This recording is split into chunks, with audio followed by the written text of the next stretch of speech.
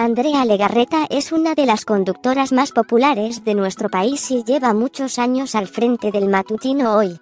Junto a Galilea Montijo y Raúl Araiza forma uno de los equipos más importantes de la televisión. Ahora está en el ojo del huracán, pues difundieron una fotografía de cómo lucía la conductora en 1998, año en que entró a Televisa, Andrea Legarreta tiene uno de los matrimonios más sólidos con el cantante Eric Rubin. Ambos son estrellas de los espectáculos y gozan de buenos momentos en sus carreras. Sin embargo, la pareja ha invertido en una serie de negocios fuera de la farándula, como es el caso de una cadena de gimnasios.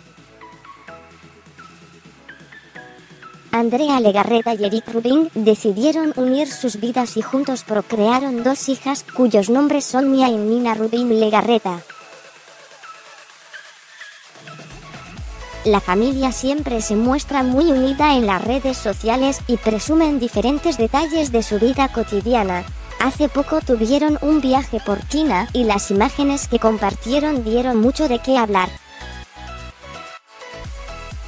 Andrea Legarreta es una mujer que constantemente está subiendo contenido a sus redes sociales para compartir con sus seguidores.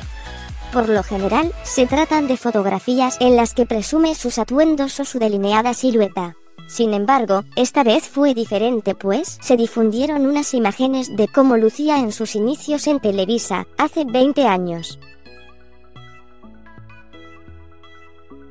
La imagen de Andrea Legarreta causó revuelo en las redes sociales, pues muchos de sus seguidores se sorprendieron al ver la juvenil imagen de la conductora. Incluso se comenzó a especular sobre los posibles retoques que Andrea se habría hecho en el rostro. Eric Rubin llegó a la vida de Andrea Legarreta dos años después de que la conductora ingresó a las filas de Televisa, uno de los detalles que más revuelo causó fue el peinado de la conductora, pues es evidente que ha cambiado mucho con el tiempo. En las imágenes aparece su cabello rizado y un copete que está lejos de la imagen que maneja ahora.